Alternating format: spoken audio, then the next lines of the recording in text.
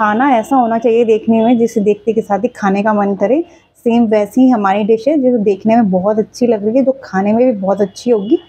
शामा cooking channel में आप सबका बहुत बहुत स्वागत है। फ्रेंड्स आज फिर हम एक नई रेसिपी लेके आए तो आज की रेसिपी हमारी आलू शिमला मिर्च की चटपटी और स्वादिष्ट सब्ज़ी बनाने जा रहे हैं। तो बहुत ही अच्छी बनने वाली है। तो देख लेते हैं इसके लिए क्या क्या चाहिए हमें।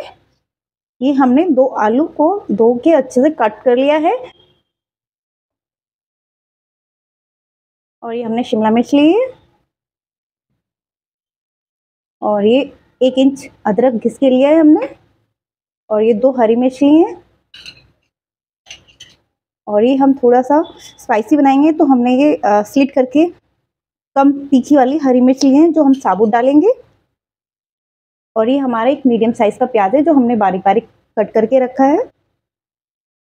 और ये हमारी टमाटर की ग्रेवी है। हमने इसमें दो टमाटर लिए जो मिक्सी करके लिए चलिए फिर इसको तैयार करते हैं। सबसे पहले हम आलू और शिमला मिर्च को फ्राई कर लेंगे, जिससे हमारी सब्ज़ी में एक अच्छा सा टेस्ट आएगा। फ्राई पैन में हम ऑयल लेंगे, थोड़ा फ्राई करने के लिए इसको, आठ दस चम्मच। तेल हमारा गर्म हो चुका है। सबसे पहले हम इसमें आलू फ्राई करेंगे, क्योंकि आलू को फ्राई होने में टाइम लगता है।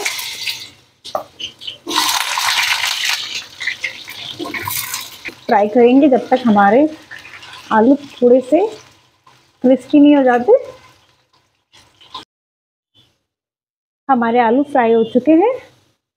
हल्का हल्का इनके ऊपर कलर आ गया है तो अब हम इनको निकाल लेंगे। शिमला मिर्च को हमें बहुत कम फ्राई करना है, क्योंकि इसमें हमें क्रंची टेस्ट रखना है इसका बस हल्का सा फ्राई करना है। ज़्यादा सॉफ्ट नहीं करना है इसको।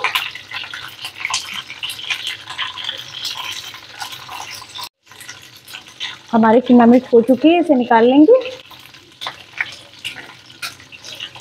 कढ़ाई हम ले ली है, कढ़ाई में हम डालेंगे तीन चार चम्मच सरसों का ऑयल तेल हमारा अच्छे से गर्म हो चुका है, अब हम इसमें हाफ़ टी स्पून जीरा डालेंगे। जीरा हमारा अच्छी तरह से भुन चुका है, अब हम इसमें एक चम्मच पिसा हुआ धनिया डालेंगे और इसको अच्छी तरह से भून लेंगे। और धनिया डालते समय हमें गैस को बिल्कुल स्लो रखना है, बिल्कुल कम रखना है और इसके बाद हम डालेंगे इसमें अपनी कटी हुई प्याज। धनिया डालने से पहले ये होता है कि इसका स्वाद सब्ज़ी का और बढ़ जाता है। अब हम प्याज को भूनेंगे सॉफ्ट होने तक। डालेंगे अपनी हरी मिर्च जो हमने काट के रखी है, अदरक घिसा हुआ और इन सबको अच्छे से भून लेंगे। अब हमारी प्याज सॉफ्ट हो चुकी है। अब इसमें हम मिक्सी किया हुआ टमाटर ऐड कर देंगे। टमाटर प्यूरी। हमारे टमाटर जल्दी से गल जाएँ तो इसमें स्वाद अनुसार नमक डाल रहे हैं। Half teaspoon. नमक आप बाद में भी डाल सकते हैं, अगर कम लगे तो।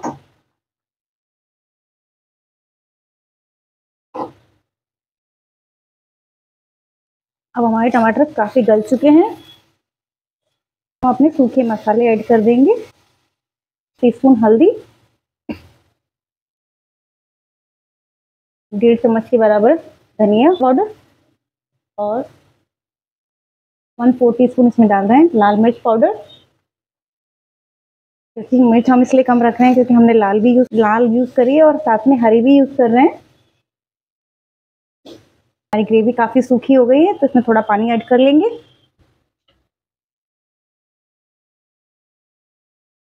लगभग दो तीन चम्मच। अब मसालों को भी पका लेंगे अच्छी तरह से।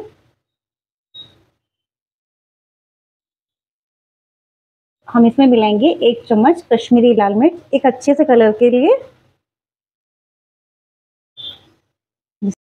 इसे ढक के एक दो मिनट के लिए पकाएँगे।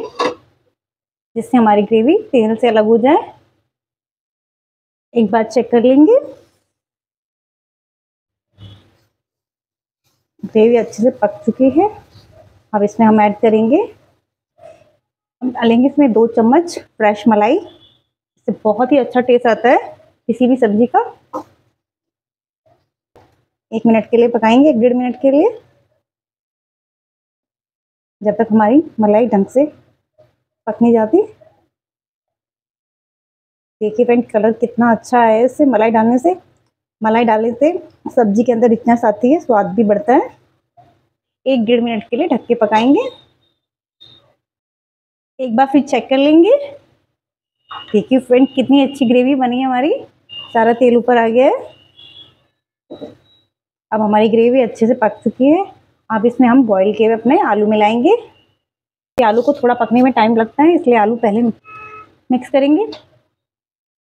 वैसे तो हमने फ्राई किए मगर थोड़ा सा और पकाएँगे इसको अच्छे से। और इसी में हम कटी हुई हरी मिर्च, जो थी हमारी लंबी लंबी इनको डाल देंगे। और बहुत थोड़ी इसमें वन फोर टी के बराबर काली मिर्च डालेंगे। और इसको मिक्स कर देंगे। अब इसमें हम थोड़ा सा पानी डालेंगे, जिससे आलू जल्दी से गल जाएँ और बहुत ही कम पानी डालेंगे इसमें। इसको ढक के पकाएँगे हम 10 मिनट के लिए। लगभग 10 मिनट हो चुके हैं, चेक करते हैं। बहुत ही अच्छा कलर आया है। अपनी शिमला मिर्च ऐड कर देंगे। शिमला मिर्च डाल के हम इसको ज़्यादा देर तक नहीं पकाएँगे। लगभग पाँच मिनट के लिए कुकिंग करेंगे इसके लिए। पाँच मिनट के लिए ढक के पका लेंगे इसको। सब्ज़ी को एक बार चेक कर लेंगे। सब्ज़ी हमारी पक चुकी है। अब इसे हम सर्व कर लेते हैं। क्योंकि ज़्यादा पकाएँगे तो शिमला मिर्च सॉफ्ट हो जाएँगी, वो टेस्ट नहीं रहेगा। अब इसे हम सर्व करने से पहले थोड़ा सा हरा धनिया डालेंगे इसमें। और मिक्स कर लेंगे। फ्रेंड्स हमने आलू शिमला मिर्च की सब्ज़ी सर्व कर दी है, जो देखने में बहुत ही अच्छी लग रही है, खाने में भी बहुत टेस्टी होगी। तो आप एक बार ज़रूर बनाइए इसको चटपटी शिमला मिर्च आलू की सब्ज़ी। अगर आपको ये रेसिपी पसंद आई हो like subscribe comment and share करना ना भूलिएगा। और वीडियो देखने के लिए आप सबका थैंक्स मिलते हैं नेक्स्ट वीडियो में।